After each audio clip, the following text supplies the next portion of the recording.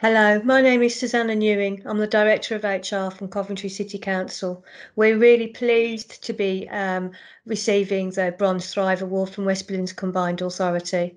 And although we had established a health and wellbeing group uh, and also had a substantial health and wellbeing offer, what we've really found valuable uh, during the uh, Thrive process has been to sharpen our thinking and it's also helped contribute to um, how we plan um, and introduce health and wellbeing um, interventions and support.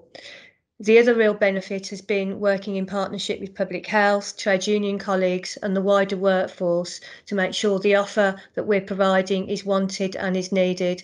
And the last 18 months has, has been um, a really timely reminder of that during the COVID experience. And it really helped us uh, during that period in terms of identifying what we could um, do um, to help and support our workforce at a really challenging time. From an occupational health perspective, Thrive has contributed to a number of improvements in the health and wellbeing offer, including additional benefits for employees, such as appointing a health and wellbeing lead, musculoskeletal interventions, and an EAP.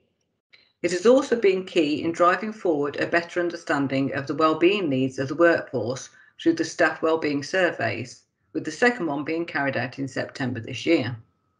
Our learning from this will help to direct our health and wellbeing planning going forward. We are looking forward to the next steps, which is working towards and obtaining the Silver Award.